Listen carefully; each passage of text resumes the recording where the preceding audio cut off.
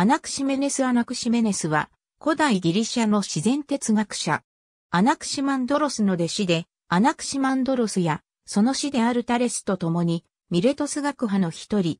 万物の根源は、空気、及び、プネウマであるとした。死人は、呼吸をしないことから、息は生命そのものであると古代ギリシアでは考えられていた。そこでアナクシメネスは、ちょうど息が生命を作るように、空気が世界を作るものと考えた。空気は薄くなるにつれて、熱くなり、最も薄くなると、火となる。逆に濃くなるにつれて、冷たくなって水になり、さらに濃くなると土や石になる、とした。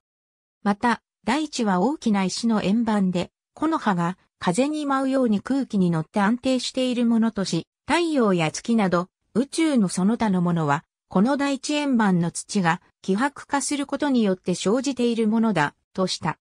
基本的な物質というものが存在し、それが薄くなったり、濃くなったりすることことで、世界を構成する様々な成分に姿を変えると想像したことは、後の物理学の方がとも考えられる。C. ロベッリ、すごい物理学講義、川で文庫、2019年、P27。ありがとうございます。